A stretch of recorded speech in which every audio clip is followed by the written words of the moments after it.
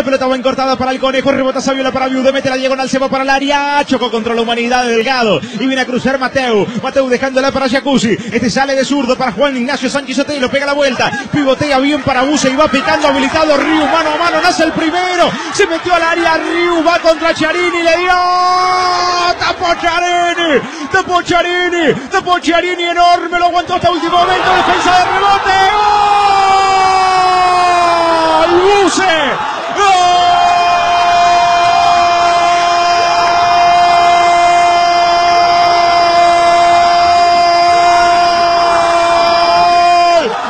¡Gol! De defensa.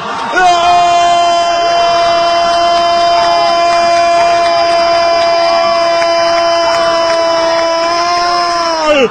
Del halcón Walter Buse, entró en la media luna, tira la carrera de pie derecho, la siesta de la defensa de River, primero para jugar con la posición adelantada en falso y que picara el vacío, habilitado Ciro Riuch, fue cara a cara a encararlo a Chiarini, lo aguantó hasta último momento el ex arquero de la gloria, tiró Riuch Chiarini, estiró la pierna derecha y tapó, la pelota fue arriba, cayó en la media luna y todo esto que le cuento tenía los defensores de River mirando el cielo y ahí apareció Buse de derecha fuerte arriba al palo zurdo de Chiarini y metió el primero iban tres minutos del primer tiempo Buse fierrazo siesta millonaria festeja Varela defensa 1 River 0 River cometió dos errores fundamentales en la jugada. Primero marcó muy mal en ataque. Algunos tiraron la línea adelante, otros quedaron enganchados. Lo aprovechó defensa para poner a Ríos mano a mano con Chiarini a espaldas de Vega.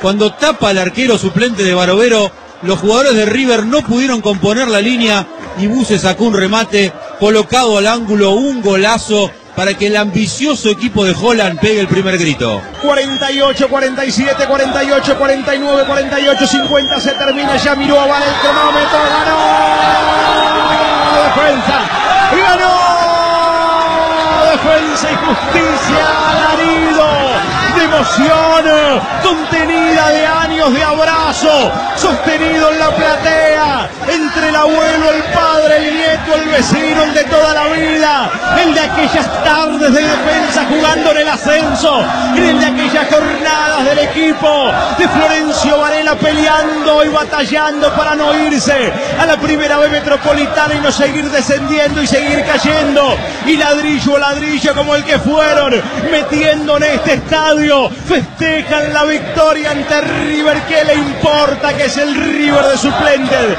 ¿Qué le interesa a este público del halcón bajo la lluvia?